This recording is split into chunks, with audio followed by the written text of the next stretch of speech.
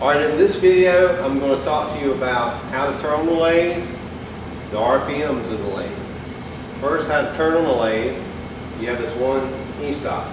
You turn it clockwise, and it'll pop out.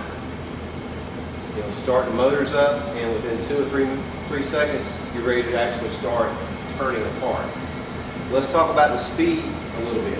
You have two ranges. You have a low range, which is from 20 to 170, and a high range from 235 to 2000. You also have this range selector. It's from 0 to 10, so it's like on a percentage scale from 0 to 100%.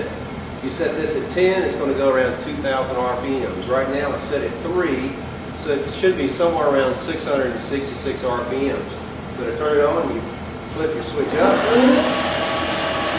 When you check out your RPM indicator, and it's running somewhere around 666 RPMs. And that's how you start the machine and how you actually set your RPMs.